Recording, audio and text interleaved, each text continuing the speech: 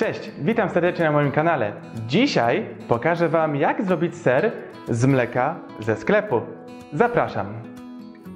Często zarówno w komentarzach na YouTube na naszym kanale, jak i na forum na Facebooku, czy nawet w mailach pytacie się, jak zrobić ser z mleka ze sklepu. Na moim wcześniejszym filmie, jak zrobić taki ser podstawowy podpuszczkowy, pokazywałem Wam cały wyrób takiego sera, opisywałem e, wyrób serów domowych, e, o, wszystkie akcesoria, jakie się używa, preparaty. To jest bardzo rozbudowany film, na który Was serdecznie zapraszam. Gdzieś tutaj w tle pokaże się e, polecany link. Natomiast dzisiaj bym chciał Wam pokazać, jak zrobić ser z takiego mleka ze sklepu. Jest to bardzo proste, także zaczynamy. Uruchamiam sobie płytę, żeby już się troszeczkę grzała i leję mleko. To jest najzwyklejsze mleko ze sklepu. Pamiętajcie, żeby mleko do wyrobu serów było pasteryzowane w niskiej temperaturze, czyli takie, które sprzedawane jest w lodówkach z krótszym terminem ważności. Absolutnie nie nadaje się do wyrobu serów domowych. Mleko UHT, czyli te pasteryzowane w ultra wysokiej temperaturze, sprzedawane w kartonach z długim terminem ważności. W takim mleku niestety struktura białek już jest y, tak zmieniona, że z nich po prostu ser nie wyjdzie. Natomiast mleko UHT nadaje się na przykład do produkcji jogurtów czy kefirów. Dzisiejszy ser to będzie taki najprostszy ser podpuszczkowy, w Polsce znany pod nazwą ser koryciński. Zrobię go z 5 litrów mleka. Podgrzewamy mleko do temperatury około 32, 33 do 35 stopni. Mamy 5 litrów mleka, ono się dość szybko zgrzeje. No, już się chyba nawet zgrzało. Wyłączę. Mamy 30 stopni. To jest taka kuchenka, taki, taki podgrzewacz elektryczny, więc on jeszcze będzie ciepły. Gdyby to była indukcja, ona by od razu przestała grzać. Natomiast on jest jeszcze rozgrzany, więc Pokazuje mi temperaturę 31,5 stopnia termometr, więc w zupełności to wystarczy. Jeszcze za chwilkę się dogrzeje, a my możemy kontynuować. A kontynuowanie to dodanie odpowiednich preparatów. Po pierwsze, to są bakterie. Kultura startowa bakteryjna, po to, żeby obudzić mikroflorę, żeby zaszczepić mikroflorę. Takie mleko ze sklepu pasteryzowane jest wyjałowione, więc konieczne dodanie kultury startowej, czyli bakterii w proszku. Tak samo jak do wina dodaje się drożdże, tak samo właśnie dodajemy do mleka na ser kulturę startową. Potrzebujemy około pół grama takiej kultury startowej na 5 litrów mleka. Możemy posłużyć się wagą. Ja mam taką wagę, ale możemy to zrobić równie dobrze na oko. Dodajemy taką ilość jak mniej więcej na końcu łyżeczki. Mieszamy. I chlorek wapnia. Chlorek wapnia to jest sól wapniowa, dodaje się po to, żeby dobrze działała podpuszczka, ponieważ żeby działała podpuszczka, e, potrzebne są jony wapnia w mleku. Działanie podpuszczki uzależnione jest od czterech czynników. Po pierwsze temperatura mleka, po drugie właśnie wapń rozpuszczony w mleku, po trzecie oczywiście stężenie tej podpuszczki, a po czwarte kwasowość mleka. Żeby odpowiednia była kwasowość, dodaliśmy właśnie te kultury startowe. To są bakterie kwasu mlekowego, które tą kwasowość nam podkręcą. Dodajemy chlorek wapnia. Około 1 grama przy mleku pasteryzowanym na 5 litrów mleka. Ok, wystarczy. I znów mieszamy.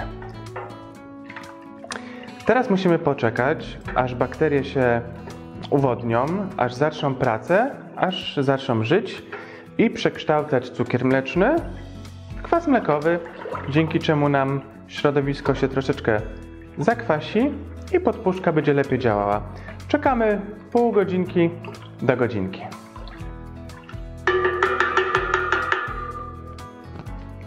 Do zobaczenia za jakiś czas.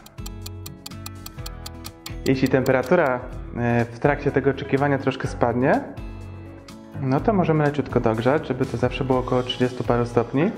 Są różne przepisy na taki podstawowy ser e, ala koryciński podpuszczkowy 32, 33, 35 stopni. Nie musimy absolutnie się tego tak sztywno trzymać. Im ta temperatura będzie wyższa, ten ser później będzie troszkę taki bardziej twardszy. Jeśli będziemy go później dogrzewać, no to też będzie bardziej osuszone ziarno. E, Ale tutaj naprawdę w takim podstawowym domowym wyrobie serów nie trzeba tak bardzo pilnować tej temperatury. 34,5 w tej chwili mam. To jest dobra temperatura. Jeszcze chwilkę poczekam i zaraz będziemy dodawać podpuszczkę. W międzyczasie mogę Wam pokazać taki właśnie serek prosty podpuszczkowy z mleka ze sklepu, który e, robiłem wczoraj. On jest jeszcze bardzo wilgotny. Forma serowarska była troszkę za duża, ją wyszedł dość płaski. Gdyby ta forma była mniejsza, to by wyszedł taki bardziej proporcjonalny. Natomiast mogę też pokazać Wam, to jest ser taki dojrzewający, który zrobiłem prawie 3 miesiące temu e, w stylu szwajcarskiego. W stylu szwajcarskim. To są sery też, które mają już jakiś czas, ten jest troszkę młodszy, te dwa są nieco starsze. E, To są sery w typie włoskim typu parmezan. One są z kulturami startowymi termofilnymi, dogrzewane do wysokiej temperatury. One mają leżeć parę miesięcy. Mam tych serów jeszcze kilka w dojrzewalni. To jest takie y, podstawowe dla ozdoby, które Wam przyniosłem pokazać.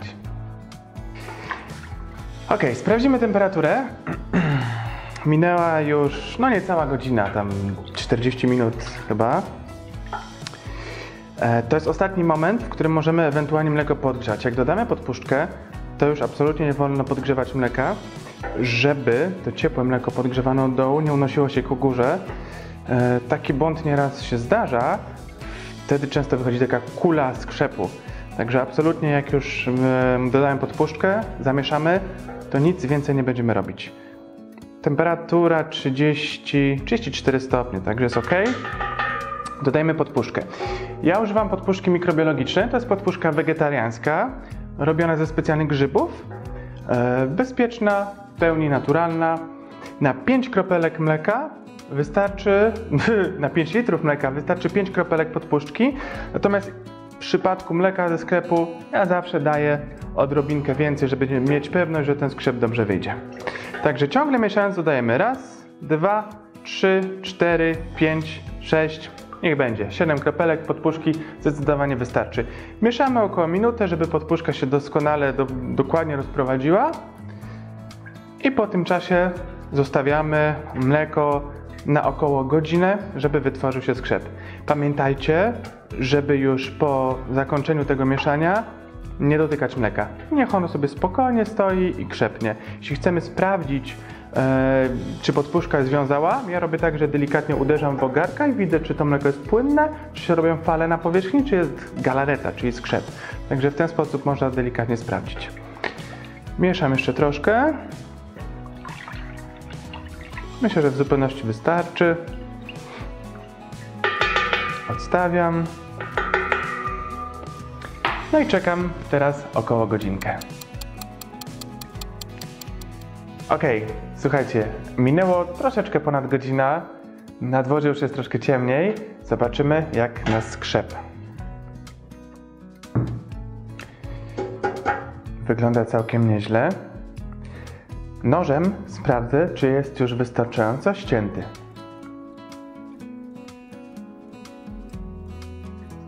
Myślę, że tak.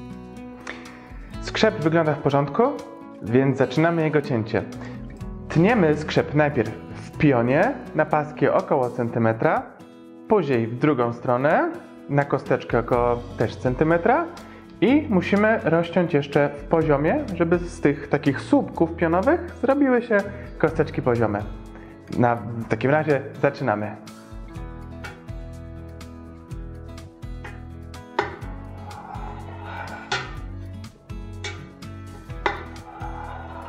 To nie musi być tak idealnie pocięte.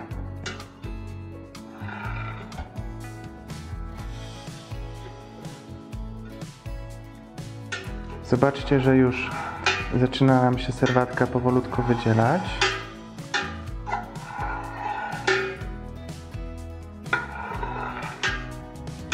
Pamiętajcie, żeby nóż dochodził do samego dna. żeby w całej płaszczyźnie sobie przeciąć, pociąć. I w drugą stronę.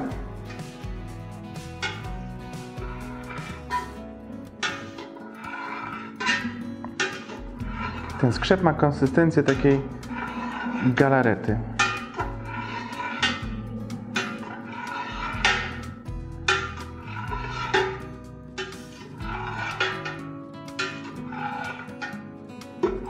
Ok, i teraz w ten sposób, żeby rozciąć te pionowe słupki na drobną kosteczkę. I pod drugim kątem.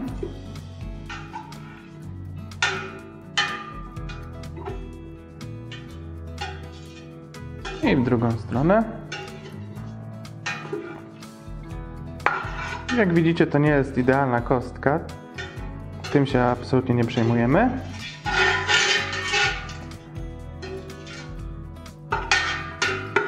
Ok, jest już w miarę pocięte. Teraz zostawiamy to już, nazwijmy to prawie ziarno serowarskie, żeby sobie troszeczkę zaczęło już opadać na dno i aby serwatka zaczęła się z niego wydzielać. Jeśli widzimy jeszcze jakieś większe kawałki, możemy je sobie dociąć.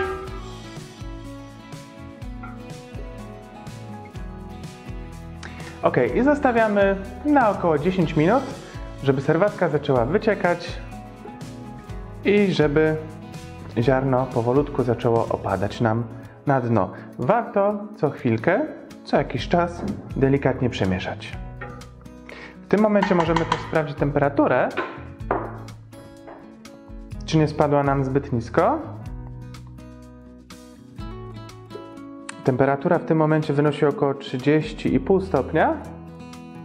Możemy leciutko włączyć palnik i leciutko podogrzewać nasz serek, znaczy no jeszcze nie serek, ziarna serowarskie, po to, żeby sprawniej serwatka wyciekała, tylko nie może być za mocno, żeby tego nie ugotować wręcz.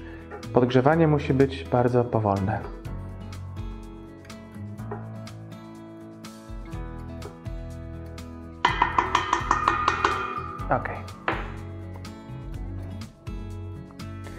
Ten skrzep z mleka ze sklepu nie jest tak idealny jak z mleka surowego, prosto od krowy, ale też wygląda całkiem nieźle.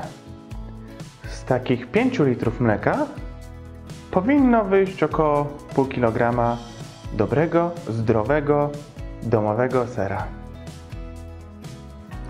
Z takiego mleka ze sklepu można zrobić tak naprawdę bardzo dużo różnych rodzajów sera. Tym sery dojrzewające, takie jak na przykład ten albo ten. Wystarczy dodać odpowiednie kultury startowe. To akurat jest mieszanka czterech szczepów. Dwóch zakwaszających, ukwaszających oraz dwóch aromatyzujących. To jest kultura startowa MSE. Dostępna w moim sklepie syrowar.pl. Najczęściej używana jest do gołdy, do cheddara, ale też bardzo często używana do właśnie takich prostych serów podpuszczkowych. To jest mieszanka dość uniwersalna, mezofilno-termofilna, daje bardzo dobre efekty i pyszny smak. W przypadku innych serów dojrzewających należy użyć odpowiednio innej kultury startowej.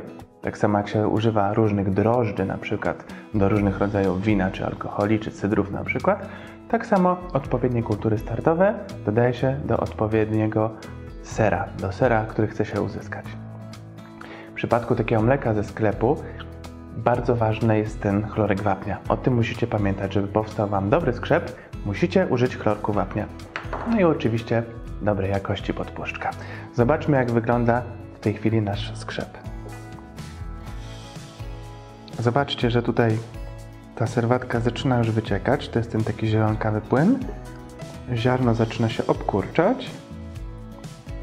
Jeszcze troszkę pomieszamy, dogrzejemy i za jakieś 15 minut będziemy wyjmować. Im dłuższe będzie to dogrzewanie i mieszanie, tym ten ser będzie taki twardszy, bardziej suchy, taki troszeczkę bardziej może być gumowaty, elastyczny, zależy co kto lubi.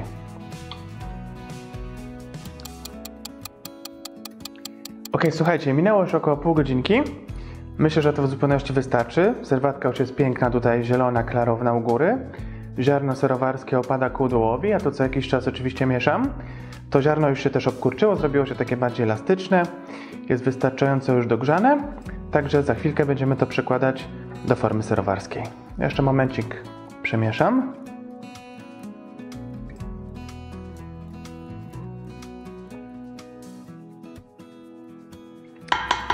Dobra. No i trzeba zrobić porządek na stole. To wywalę na bok. I przyda mi się to, czyli blacha od piekarnika. Oczywiście nie będziemy nic piec, ale zawsze je używam do moich serowarskich poczynań, ponieważ jest głęboka i doskonale się sprawdza do zbierania serwatki. A będziemy to robić tak. Mam dwie formy. Do jednej wkładamy, a drugą będziemy wyciągać. Bardzo lubię tą formę. Do wyciągania jest elastyczna, dzięki czemu się tak fajnie płaszczy, spłaszcza, więc można bardzo łatwo wyjmować skrzep z garka. Przesuwam, żeby mi tam za bardzo nie kapało. Tutaj ustawiam formę i wyciągam.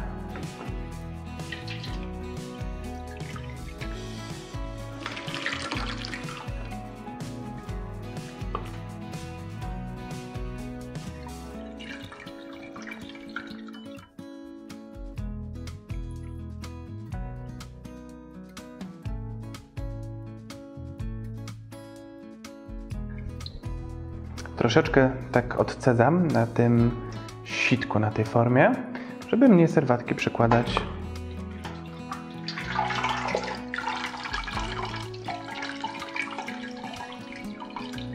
No, wyszło całkiem dużo skrzepu. Zaraz się okaże, że forma jest za mała. Jeśli chodzi o to mleko, to to jest najtańsze mleko. Nie musi być jakieś wyjątkowe super mleko. To akurat kupiłem w Carrefourze. Kosztowało mniej niż 2 zł za butelkę. Także za 10 zł, plus oczywiście dodatki, które nie kosztują dużo, bo starczają na wiele serów, ale za 10 zł, jeśli chodzi o mleko, mamy naprawdę całkiem sporo pysznego, zdrowego, domowego sera podpuszczkowego, prawdziwego sera podpuszczkowego, który może również sobie dojrzewać.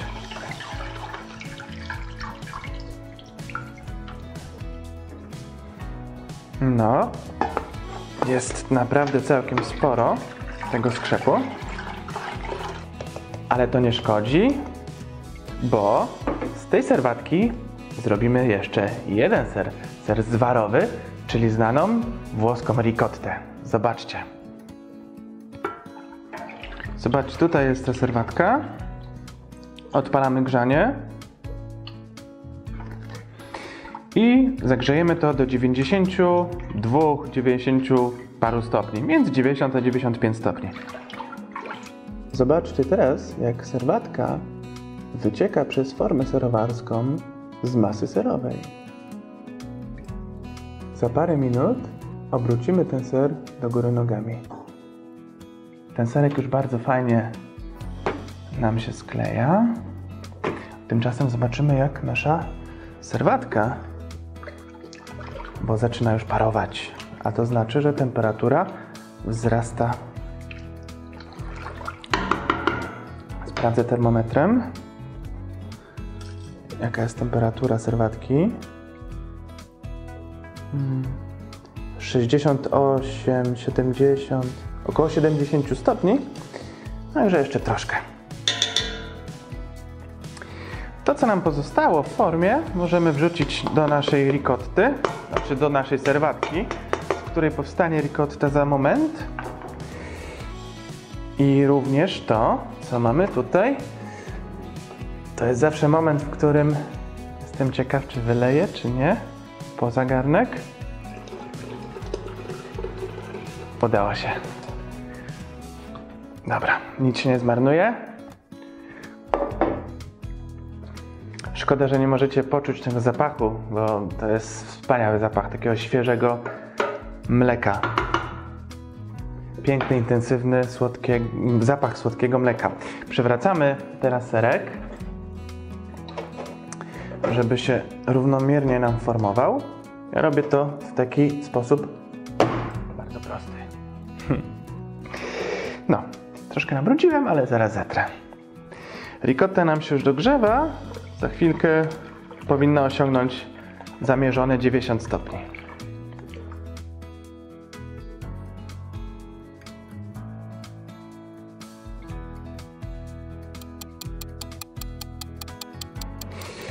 A ja znów przełożę serek, żeby równomiernie się prasował i formował.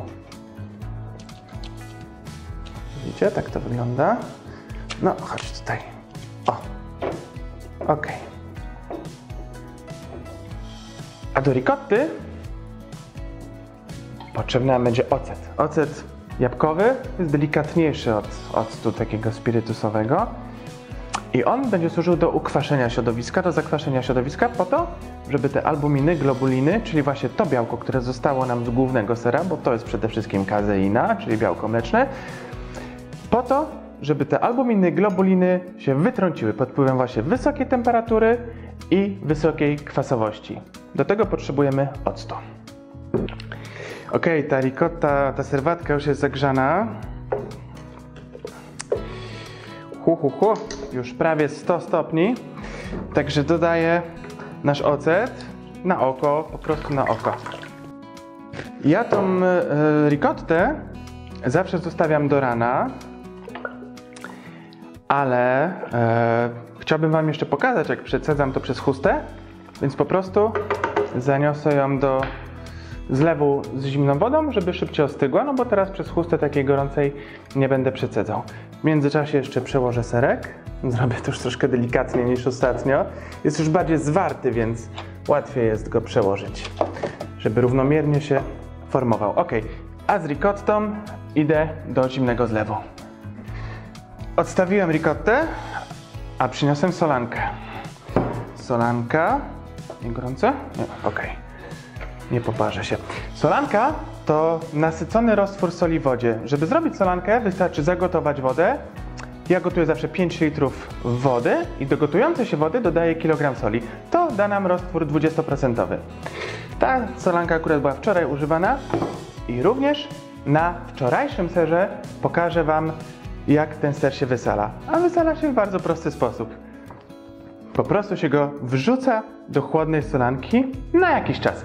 Takie małe serki, jak te, powinny się wysalać przez około 2-3 godzinki. To w zupełności wystarczy. Ser nie może być zasłony, ale też nie może być mdły. Po pierwsze, dlatego, że będzie niesmaczny, ale po drugie, sól również konserwuje. Pojawia się ochronna skórka, dzięki czemu on może sobie bezpiecznie leżeć. Po jakimś czasie odwracamy go na drugą stronę i niech sobie tak pływa. Co jakiś czas go będziemy tylko przekładać. Za chwilkę zobaczymy co z naszą ricottą. Mamy już schłodzoną ricottę. Zaraz będziemy ją przelewać. Troszeczkę zrobię tu porządku. Ten się wczorajszy jeszcze nam wysala. On był już wysolony, ale żeby Wam pokazać jak to się robi, to niech się jeszcze pomoczy. Ten serek przerzucę z powrotem, a mogę zresztą Wam pokazać już jak on wygląda. Jest taki ciepły, jeszcze miękki. Serwatka z niego wycieka. Wrzucam go z powrotem jeszcze do formy. On w tej formie powinien leżeć od 12 do 24 godzin. W ciepłym miejscu może to być nawet wilgotne miejsce, byłoby lepiej. Ja nieraz takie małe sery wkładam po prostu do zamkniętego, wyłączonego piekarnika na przykład na noc. Wtedy one mają tam troszkę cieplej, wilgotność jest nieco większa. Fajnie yy, obciekają. Dobra, a teraz zajmiemy się gdzieś tutaj, te, zajmiemy się ricottą. Zobaczcie, mam tutaj sito, mam pojemnik.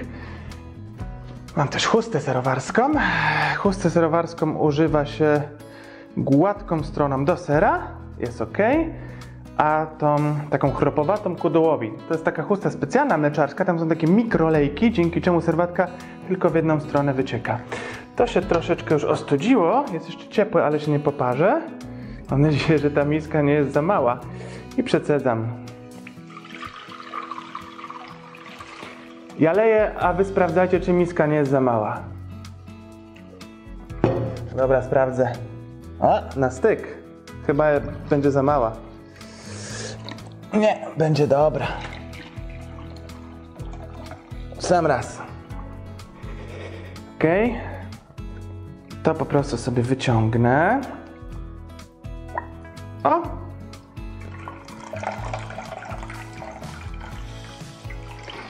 Ja najczęściej sobie zawiązuję i wieszam po prostu za cztery rogi. Można też zrobić to w taki sposób. O. Ups, sesa. Zapomniałem, że to jest podstawka. Czekajcie, czekajcie. Okej, tak. O. Zawiążę za łyżkę, na łyżkę, na łyżce. O. I po prostu powieszę na garku. Niech to sobie obcieka.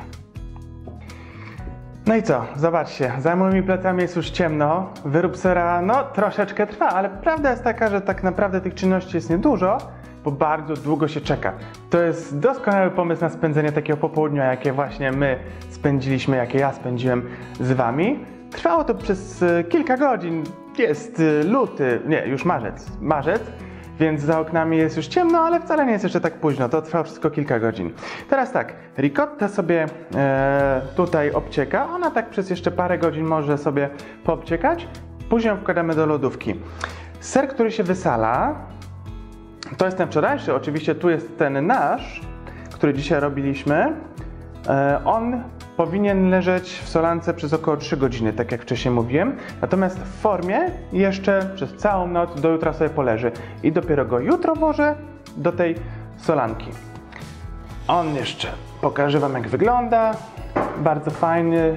Możemy go również obsypać przyprawami. Pokazywałem to na moim poprzednim filmie e, z wyrobu sera podpuszczkowego, z mleka takiego surowego. A tam właśnie było pokazane, jak to robiłem z przyprawami. Można go posypać, ale to dopiero po wysoleniu. Także on jeszcze sobie tutaj będzie leżał. Mogę go od razu przewrócić.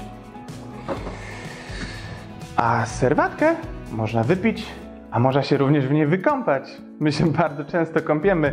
Moje córki również się bardzo lubią kąpać w takiej serwatce. Jest bardzo zdrowa, jest tam mnóstwo soli mineralnych, witamin, także polecam. Podsumowując, mleko ze sklepu, podpuszczka, chlorek wapnia, kultura startowa, termometr i forma. Forma serowarska to podstawowe akcesoria, które pozwolą zrobić prosty ser podpuszczkowy. I zobaczcie, jak on fajnie wychodzi. Także polecam domowy wyrób serów. Jeśli chcecie zobaczyć taki bardziej rozbudowany film, e, większa ilość informacji, wytłumaczone podstawy serowarstwa, to zobaczcie na moim kanale, on tam gdzieś wyświetli się karta. E, tam jest więcej informacji o takim e, wyrobie serów. Jest bardziej rozbudowany filmik. Ten filmik miał za zadanie pokazać Wam, że z mleka ze sklepu jak najbardziej można zrobić ser. Smaczny, zdrowy ser również dojrzewający. Ten nie jest serem dojrzewającym, jest takim prostym serem podpuszczkowym do zjedzenia na śniadanko, na kolację, ale również można robić sery podpuszczkowe. Zobaczymy jak on wygląda. Zobaczcie. O. Proszę. Oto domowy ser podpuszczkowy.